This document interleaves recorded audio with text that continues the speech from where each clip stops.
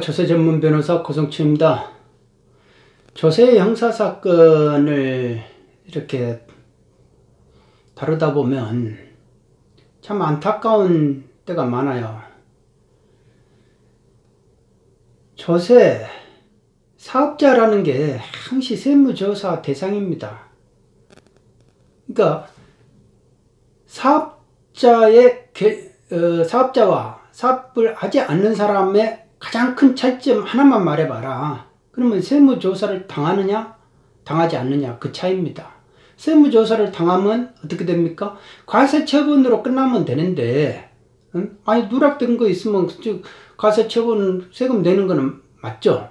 그런데 그게 이제 또 조세범으로 이렇게 고발까지 된다 이겁니다. 조세범은 조세 포탈과 허위 세금 계산서 그 두 가지 부류로 크게 나누거든요. 포탈은 포탈범이고 세금 계산서는 질서범이기 때문에 일정 액수가 끝 되면은 이제 또 특가로 해가지고 또 형이 가중이 돼요.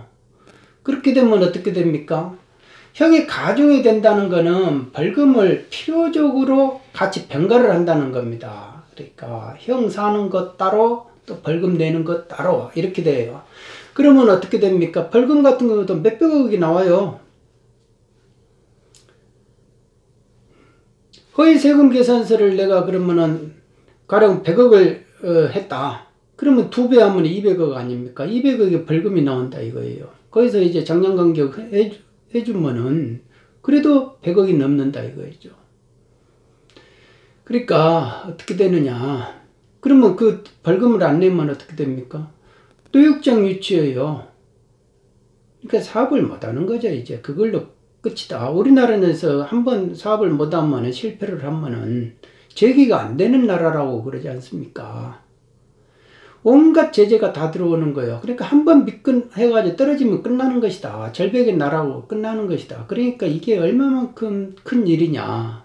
그거죠. 이렇게 큰 일인데 초기부터 세무조사 나와 있는 초기부터 대응을 잘해야 된다. 그때 그때마다 아 누가 이래라 하니까 이렇게 말하고 누가 저래라 하니까 저렇게 말하고 아 사업자들이 사업만 하다 보니까 이거 법리적인 거는 잘 모르죠. 그러면은 그거는 전문 용역을 써서 전문가들 통해 가지고 그렇게 일관되게 주장을 해야 된다. 매를 한 대 맞을 거면 맞아야 되고 그런데 그걸 한 대 맞을 걸 열 대를 내가 부풀려 가지고 맞을 필요는 없다 이겁니다. 그러니까 이게 한 대짜리인지 열 대짜리인지 그걸 정확하게 구분해 가지고 옆에서 도움을 받아야 된다. 그런 그게 법리다 이겁니다. 법리가 아닌 걸 가지고 열 대를 때리면 그거는 잘못한 거죠 공직자들이. 그럼 그런 거는 얼마든지 불복을 하고 검찰이라든지 법원 과정에서 그거를 일관되게 주장할 수 있는 근거가 생겨요. 안 들어준, 안 들어주면은 그 다음 단계가 또 있는 겁니다. 그런데 그거를 일단 거기서 얼른 모면하자. 급한 마음에 그냥 대충 이렇게 없어하고 끝나자. 뭐 인정할 거 인정하고 하나 내주고 하나 받고 그러자. 이런 식의 말내에서 혹 하면 안 된다 이겁니다. 그래서 일관되게 처음부터 이렇게 했더라면은 굳이 이렇게 힘들게 하지 않았을 건데 하는 그런 사건들이 의외로 적지를 않다. 이런 생각이 듭니다. 그러니까 초기부터 좀 그 전문가, 전문 영역을 잘 제공을 받으시라 라는 걸 말씀드리고 싶습니다. 요즘 뭐 조세 전문가라고 하는 사람이 제가 볼 때도 몇만 명이 되는데 물론 선택의 고통이 따르시겠죠. 그래도 사람을 잘 찾아보면 있다. 음. 사람을 잘 찾으십시오. 그게 수렁에 빠졌을 때 빠져나오는 지름길이다. 그거를 처음에는 잘 모르고 나중에는 다 이렇게 겪어, 겪고 이렇게 겪다 보면은 나중에 알게 됩니다.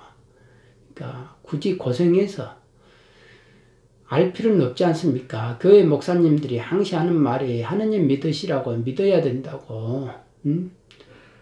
다 이렇게 지름길로 그냥 오실랍니까? 아니면 맞고 오실랍니까? 뭐 그런 말을 하시잖아요.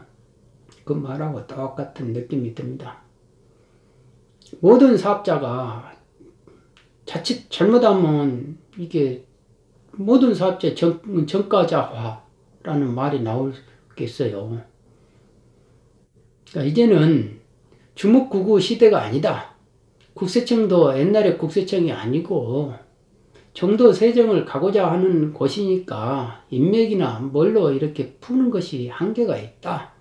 없어 해가지고 될 일이 아니다. 그리고 국세청 고발은 또 검찰도 그냥 이렇게 눈 보고 맞네 이런 식으로 또 넘어가는 경우가 많으니까 다들 국고적이니까 판사도 그러고 다 그러잖아요. 누가 내일처럼 일일이 아, 그, 아 이거 아니겠네.